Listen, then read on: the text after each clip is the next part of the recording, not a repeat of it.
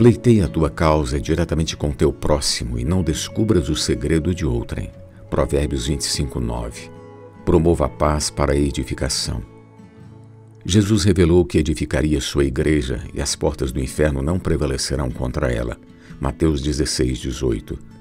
Todavia, na hora de praticar a vida da igreja, encontramos muitos entraves, tais como ofensas, discórdias, opiniões diferentes. O Senhor ensina também que, havendo pendências entre você e um irmão, deve arguí-lo entre você e ele só. O objetivo é buscar solução para restaurar a paz. Não desabafe com terceiros o seu problema, pois além de não resolver a pendência, ainda acirra os ânimos entre os irmãos, tornando mais difícil a restauração da paz. Na casa de Deus devemos buscar a harmonia tão necessária para a edificação da igreja. Para isso, deve imperar entre nós o amor, a bondade, a humildade, mansidão, longanimidade, diminuindo a intolerância, a falta de perdão.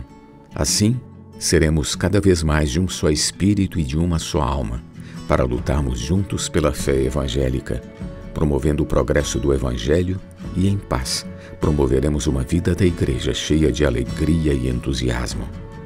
Cada membro servirá ao Senhor dando o melhor de si, como resultado, o Evangelho será pregado e a igreja será edificada.